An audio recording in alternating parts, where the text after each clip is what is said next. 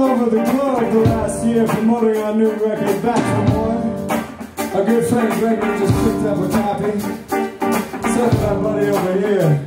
Y'all should get one too. It sounds really, really good.